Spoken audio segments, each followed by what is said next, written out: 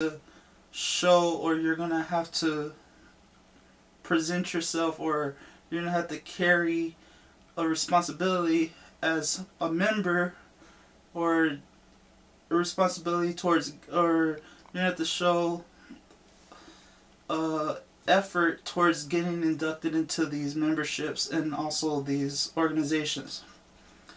Participation is one great is a, is one great choice or a great way to do this.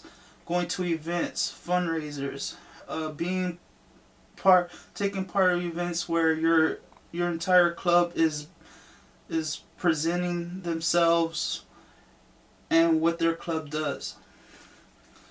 As being, as far as being inducted into honor, it's a Sigma Pi, there is things, there are steps that you have to have to there's steps that you have to fulfill as in broadcast and there are steps that you have to fulfill as in broadcast and meetings.